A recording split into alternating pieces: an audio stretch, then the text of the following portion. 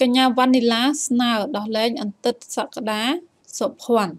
តារាចម្រៀងសុកចិន្តាហៅវ៉ានីឡាបានស្នើដល់មហាជនទាំងឡាយដោះលែងឬលើកលែងដល់អតីតសង្ឃសក្តាសុភ័ណ្ឌដែលទើបសឹកថ្មីថ្មីនេះទៅដោយឈប់ទើសទាល់ឬរិះគន់អ្វីទៀតចុះព្រោះថាការនៅជាសង្ឃធ្វើនេះធ្វើនោះមិនសមនាំឲ្យមានការរិះគន់ជាការត្រឹមត្រូវហើយតែពេលនេះអតីតសង្ឃរូបនោះបានសឹកខ្លាយទៅជាក្រហោះធម្មតាទៅហើយល្បើមិនឈប់ការរិះគន់ទៅ កញ្ញាវ៉ានីឡាបានសរសេរនៅក្នុងគណនី Facebook របស់នាងនៅថ្ងៃទី23ខែកក្កដាឆ្នាំ2019ថាល្មមដោះលែងក៏ទៅថានៅជាលោកទៅធ្វើនេះធ្វើនោះមិនសមឥឡូវសឹកហើយជា business class ក៏មានអ្នករិះគន់ឃើញគេនិយាយពីរឿងរូបគាត់មួយសន្លឹកហ្នឹង តាំងពីព្រឹកលោកប្អូន Q up ហើយចុះបងបងកាលណាបាន Q up ចាគូបញ្ជាក់ដែរថាការលើកឡើងជាសំណុំពររបស់តារាចម្រៀងវ៉ានីឡាខាងលើនេះធ្វើឡើងក្រោយពេលដែលអតីតសង្ឃវ័យក្មេងសក្តាសុភ័ណ្ឌបានលេចចាក់សិក្ខាបទបន្ទាប់ពីបានធ្វើរឿងខុសឆ្គងដោយធ្លាយរូបភាពតាមបណ្ដាញសង្គម Facebook ធ្វើឲ្យមហាជន មានការព្យាបាទថាព្រះអង្គត្រូវបានចោទប្លន់សម្លាប់ក្រោយពេលសឹកភ្លាមអន្តិតសក្តាសុភ័ណ្ឌបានឡើងយន្តហោះទៅកាន់សហរដ្ឋអាមេរិកភ្លាមដោយបង្ហាញរូបភាពជាយន្តហោះ លំដាប់ VIP តែងខ្លួនដោយស្ទៀវជាដើមជាមួយគ្នានេះផងដែរនៅថ្ងៃទី23ខែកក្កដាឆ្នាំ2019មានគណនី Facebook មួយដែលមានឈ្មោះថា Wan Saron ដែលជារបស់ព្រះអង្គមួយអង្គបានសរសេរបកអាក្រាតពីអតីតសង្ឃសក្តាសុផន្ថាស្លៀកពាក់បែបនេះសមជាមនុស្សស្លាប់រស់នឹងមនុស្សធម៌ដែរឬទេញោមញោមអើយជឿសង្គមសង្ឃដែលគេដឹងរឿងខ្លះទៅសុភ័ណ្ឌជាមនុស្សមានមហិច្ឆតាលៀបសការៈខ្លាំងណាស់ តាំងពីបួសមកដោយសារខ្លួនមិនមានលក្ខណៈជាប្រុសពេញលក្ខណៈទើបចូលចិត្តរបស់ស្អាតស៊ីវិល័យទោះស្អាតបែបអ្នកបុកក៏ដោយចូលចិត្តប្រើជីវរថ្លៃថ្លៃទូរស័ព្ទទំនើបទំនើបតាំងពីមិនទាន់គេស្គាល់ម្លេះនេះជាលក្ខណៈសម្គាល់ខ្លះខ្លះ1ចង់មានលុយច្រើន ដំបូងឡើយការមានលុយច្រើនមិនមែនក្នុងន័យសន្សំទេ គឺដើម្បីផ្ដាច់ចេញពីជីវិតអ្នកបួសដូចជាបិណ្ឌបាតឬជីវិតសាមញ្ញ តែបដូរមកជីវិតហឺហាលក្ខណៈបែបនេះសម្រាប់អ្នកបោះថ្មីឬយូរល្មមមិនអាចធ្វើបានឡើយប៉ុន្តែសុភ័ណ្ឌអាចធ្វើបានយ៉ាងងាយហើយអាចចាត់ទុកជាបុព្វជិតសម្បូរដោយចាយតើរកតាមវិធីណាអន្តិតម្នាក់នេះបានបួសក្នុងសង្គមសង្ឃដែលនៅក្បែរសង្ឃល្បីសង្ឃមានលុយសង្ឃមានលៀបសការៈសង្ឃមានញោមញាតច្រើន នៅក្បែរផងសូមចូលរួមផង បានធ្វើឲ្យគាត់មានឱកាសរកលៀបបាន គឺរៀនធ្វើតាមផង តាក់លៀបបានផងជាធម្មតាអន្តិតនេះតែងតែទៅចូលរួមនឹងកម្មវិធីបុណ្យធំដែលរៀបចំដោយបុព្វជិតល្បីៗទូគេមិនហៅក៏ដោយនៅពេលទៅចូលរួមធ្វើជាជួយនេះជួយនោះតែបំណងធំគឺចូលតាក់ទងពុទ្ធបរិស័ទណាដែលល្បីល្បីមានលុយច្រើនឬមកពីក្រៅប្រទេសជាដើមបើដឹងថាអ្នកណាមួយនៅក្រៅស្រុកសុភ័ណ្ឌមិនទៅណាឆ្ងាយទេជួយនេះជួយនោះឬធ្វើជាខ្វល់នឹងសុខទុក្ខបុគ្គលនោះនោះ ទម្រាំចុកបនមួយមួយបុព្វជិតសុភ័ណ្ឌអាចទាញទឹកចិត្តគេបានហើយត្រូវគេរពរឹកនិងប្រកេនលុយជាហោហែសុភ័ណ្ឌជាបុព្វជិតដែលនិយាយទូរស័ព្ទច្រើនសឹងមិនលុពេលភាច្រើនគឺនិយាយជាមួយញោមញោមដែលខ្លួនតាក់ទងរួចហើយចំណុចដែលបុព្វជិតម្នាក់នេះតែងតែប្រើដើម្បីអន្តឹងចិត្តគេគឺទី1ថាខ្លួនចង់រៀនសូត្រតែអត់លុយរៀនកំសត់ណាស់ស្នាក់នៅក្រោមចិន្តាកុដតែជាស្ដែងសុភ័ណ្ឌ មិនដែលខ្វល់នឹងការរៀនសូត្រម្ដងនៅឡើយទី2ថាខ្លួនកូនកំព្រាកំសត់ពេកណាស់គ្មានលុយកាក់តែជាស្ដែងចៃលើកចាស់ខ្ជាយទី3ថាខ្លួនជាកូនសិស្សបុព្វជិតល្បីៗពេលខ្លះថាជាកូនសិស្សលោកគ្រូជួនសក្តាពេលខ្លះថាជាសិស្សឆាតសុឆេតជាដើមដើម្បីទាញសមាជិកបរិស័ទដែលមានលុយទី4ថាខ្លួនជាអ្នកបំរើផ្ទាល់សម្ដេចព្រះមហាសុមេធាធិបតី នៅង៉ែតដែលជីវរដែលប្រើផ្លេចផ្លេចនោះជាការប្រទានរបស់សម្ដេចទៀតផង តែជាស្ដែងចូលចិត្តប្រើជីវរភ្លឺផ្លេចផ្លេចដល់ខ្លួនឯងព្រោះត្រេកត្រអានឹងរបស់ប្រើ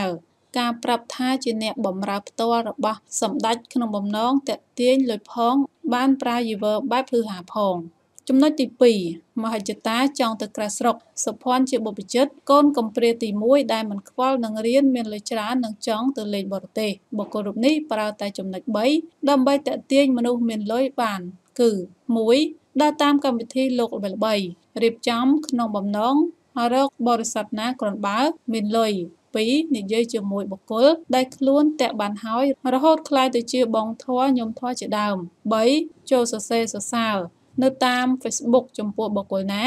ដែលមានលុយល្បីឬនៅក្រៅស្រុកដើម្បីតាក់ទាញឬពង្រឹងការតាក់ទាញមានន័យថាសុភ័ណ្ឌអាចរកម៉ូដថ្មីតាម Facebook បានសូម្បីនៅញូហ្សេឡង់នេះក៏មានដែរការតាក់ទងនេះចំណេញពីរគឺបានលុយនិងបានចេញក្រៅស្រុកសុភ័ណ្ឌ ប្រសពនិយាយណាស់អាចនិយាយឲ្យមនុស្សដែលមិនសូវបានត្រៀមខ្លួន ស្រក់ទឹកភ្នែកអាណិតអាសូរឬធ្លាក់លុយបាននិយាយរហូតពីទ្រាំមិនបាន រកវិធីធានាទៅលេងក្រៅស្រុកទៀតផងឧទាហរណ៍មានសង្ឃនៅក្បែរគេដឹងរឿងថា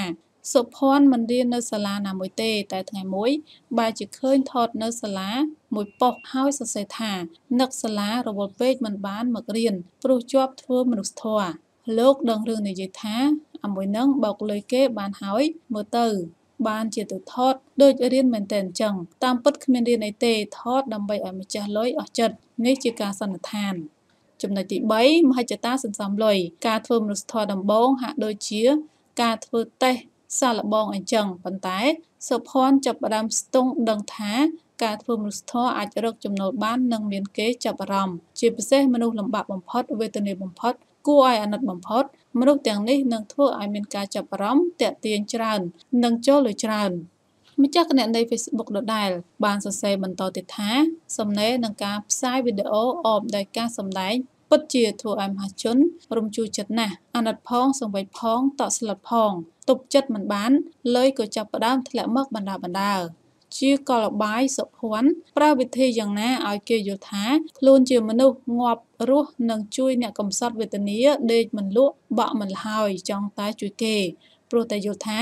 សុភ័ណ្ឌជាសង្ឃល្អជួយតែអ្នកកំសត់វេទនាមិនគិតខ្លួនបរិស័ទមិនខ្វល់នឹងលុយដែលសុភ័ណ្ឌចៃវិឡើយលុយចង់ធ្វើអ្វីក៏យកទៅលុយណាប្រាប់គេបានក៏ប្រាប់ឯលុយមិនអាចប្រាប់ក៏ឆាន់តែម្ដងទៅ មួយទៀតជាទម្លាប់បរិស័ទ បើគាត់ផ្ញើជូនអ្នកណាមួយតាមរយៈសុភ័ណ្ឌច្បាស់ជារំលែកជា2ឬមួយចំនួនសម្រាប់បច្ច័យ4ឬអ្វីផ្សេងទៀតតាមគាត់ចង់ដំណាក់កាលនេះសុភ័ណ្ឌអាចថែមប្រហុកថែមរបោយទម្លាក់លុយបានដូច្នេះសុភ័ណ្ឌចំណាយ100ដុល្លារអាចបានរាប់រយឯណោះ លុយបែបបែបនេះតើមហាជនដឹងបានយ៉ាងម៉េចបើគាត់ម្នាក់ម្នាក់យល់អ្នកបួសមិនធ្វើអញ្ចឹងទេម្យ៉ាងទៀតសុភ័ណ្ឌចាប់មានមហិច្ឆតាចង់មានលុយច្រើន និងចាប់ប្រាមសន្សំលុយមកដល់នឹងពេលនេះត្រូវចាំថាសុភ័ណ្ឌមិនមែនកំសត់ខ្វះលុយដោយអ្នកផងធ្លាប់ឮតតនោះទេសុភ័ណ្ឌជាអ្នកមានហើយលុយចាយមិនខ្វះទេវិធីរកលុយតាមពីរបៀបគឺ1រកមនុស្សដែលវេទនាបំផុតឬដែលតាក់ទាញបំផុតដោយកុមារកំព្រាជាដើមពេលផ្សាយនឹងមានអ្នក ចូលលុយសម្រាប់កម្មវិធីផង ផ្ទាល់ខ្លួនផង2ការធ្វើបន្ថុំសុភ័ណ្ឌចេះរៀបធ្វើបន់នេះតាមគ្រូតាតាល្បីៗមួយចំនួនដែលប្រមូលលុយបានច្រើនដូចជាកឋិនទានជាដើមឆ្នាំកន្លងទៅសុភ័ណ្ឌបានធ្វើបន់កឋិនយ៉ាងធំមួយនិងមានច្រើនត្រៃបញ្ចាញ់អុកញ៉ាប៉ុន្មានទេហើយភ្ញៀវចូលរួមក៏មានអ្នកមានលុយចូលរួមដែរតាមសម្គាល់ខ្លះមក ទំហំប៉ុណ្ណឹងបើសុភ័ណ្ឌមានគំនិតមិនស្មោះត្រង់លុយសល់មិនតិចឡើយបងប្អូនធ្លាប់ឃើញសុភ័ណ្ឌស្ពាយគ្រឿងក្រអូបដូចជាទឹកអប់មកពីបរទេសដោយសំអាងលេសថាគេផ្ញើទិញឲ្យតែការពិតគឺសុភ័ណ្ឌទិញខ្លួនឯងដើម្បីយកទៅប្រកបចិត្តអ្នកមានលុយនៅស្រុកខ្មែរជាញោមធัวបងធัวប្អូនធัวអ្នកដែលនឹងទទួលរបស់បញ្ញានោះសុទ្ធតែមានតំណែងតំណងខ្លះហើយអ្នកទទួលរបស់ពីលោកនឹងយល់ថាលោករាប់អានអញស្មោះ តែត្រូវចាំថា អ្នកទទួលរបស់បញ្ញានោះនឹងមិនរួចខ្លួនឡើយគឺជាមួយពេលបន់នោះឯងទទួលទឹកអប់អាត្មា ពេលបន់កុំភ្លេចជួយចំណាយលុយអាត្មាផងម្ចាស់គណនី Facebook ដដែលបានសរសេរបន្តទៀតថារឿងនេះពិតវែងឆ្ងាយបងប្អូនលំបាកមើលណាស់ តែសហគមន៍សង្ឃដឹងរឿងនេះយូរហើយ តែលំបាកនិយាយរហូតដល់សុភ័ណ្ឌពលនឹងលុយខ្លាំងដូចសពថ្ងៃរឿងចុងក្រោយ បងប្អូនអាចសួរថាចុះបរិស័ទដែលសុភ័ណ្ឌបានតកតងនោះมันមានអ្នកដឹងសោះឬចម្លើយមានអ្នកដឹងច្រើនតែក៏មានអ្នកមិនអាចដឹងបានដែរដំណើរសុភ័ណ្ឌដូចរោងលខោនអញ្ចឹងសម្ដែងហើយសាររងមិនអាចសម្ដែងរឿងដដាលដដាល ជាមួយមនុស្សដដែលបានទេ តែខ្មែរយើងចិត្តល្អណាស់ទោះដឹងហើយ បានត្រឹមមិនមាត់ហើយលែងតាក់តឹងទៀតម៉ួយចាស់បាត់ទៅម៉ួយថ្មីមកដល់សុភ័ណ្ឌនៅក្បែរយូរបន្តិចគេនឹងយល់បានហើយ បាត់សេចក្តីទុកចិត្តព្រោះការសម្ដែងខុសការពិតនេះឯងសាធារណជនអាចជេរអាត្មាបែបណាក៏បាន តែការពិតនោះអាត្មាត្រូវតែប្រាប់ចុងក្រោយអាត្មាជួនជាយោបល់ថាខ្មែរភាគច្រើនចិត្តល្អណាស់តែច្រើនតែដើរខុសផ្លូវព្រោះបញ្ញាតិចបើញោមញាតចង់ជួយមនុស្សសូមជួយដោយត្រង់ឬផ្ញើដោយភាពវៃឆ្លាតឧទាហរណ៍បងប្អូនមានលុយដល់ទៅ100ដុល្លារមិនក៏ចាំបាច់រំលែក50ដុល្លារសម្រាប់អ្នកផ្ញើឯ50ដុល្លារទៀតសម្រាប់ជនកំសត់វេទនាមួយទៀត យើងជាម្ចាស់លុយអាណិតជនរងគ្រោះចាញ់សុភ័ណ្ឌប៉ុណ្ណាទៅ រហូតថ្នាក់ប្រកោសិទ្ធផ្ដាច់មុខកំពូលមនុស្សទៅសុភ័ណ្ឌស្ដេចអាជីវកម្មបែបនេះទំហំលុយសុភ័ណ្ឌអាចទិញផ្ទះទិញឡាន ទំនើបជិះបានហើយណាញោមញោមសូមប្រយ័ត្នផង ចានេះគឺជាអត្តន័យសាររបស់អម្ចាស់ account Facebook ដែលមានគណនីឈ្មោះថាវ៉ាន់សរុនក៏បានលើកឡើងតកតងទៅនឹងអ ន្តិតសក្តាសុភ័ណ្ឌចាហើយចំពោះរឿងរ៉ាវយ៉ាងណានោះយើងក៏មិនទាន់ដឹងច្បាស់ថារឿងនេះថាវាពិតឬក៏យ៉ាងណានោះទេ ចាហើយទោះបីជាយ៉ាងណាជុំវិញការលើកឡើងខាងលើនេះនៅមិនទាន់អាចសុំការបំភ្លឺឆ្លើយតបពីអន្តិតសក្តាសុភ័ណ្ឌបាននៅទេកាលពីម្សិលមិញនេះគណៈដែលពេលនេះអន្តិតរូបនេះកំពុងមានវត្តមាននៅឯសហរដ្ឋអាមេរិកដែលបានបង្ហើបពីគម្រោងបើកហាងលក់អនឡាញនាំចូលទំនិញដោយផ្ទាល់ពីក្រៅប្រទេសដែលដកលុយចំណេញ50%សម្រាប់ជួយទៅដល់ជនក្រីក្រ និងក្មេងកំព្រាដោយការនៅជាសង្ឃហើយសូមស្នើមហាជនជួយគ្រប់គ្រងផង ហើយអន្តិតសក្តាសុភ័ណ្ឌក៏បានសរសេរនៅក្នុង Facebook របស់ខ្លួននៅថ្ងៃទី24ខែកក្កដាឆ្នាំ2019ដែលថាបើខ្ញុំបើកហាងលក់អនឡាញតូចតូចមួយនៅប៉ុន្មានថ្ងៃនេះទៀតដើម្បីចិញ្ចឹមជីវិតហើយខ្ញុំនឹងនាំចូលដែលផ្ទាល់ពីក្រៅប្រទេសតែម្ដងតែខ្ញុំនឹងសុំដកការចំណេញ50%សម្រាប់ជួយទៅដល់អ្នកក្រីក្រនិងក្មេងកំព្រាដោយដើមតើមានអ្នកគ្រប់គ្រងដែរឬទេចា៎នេះគឺជាការ លើកឡើងរបស់អន្តិតសក្តាសុភ័ណ្ឌក៏បាន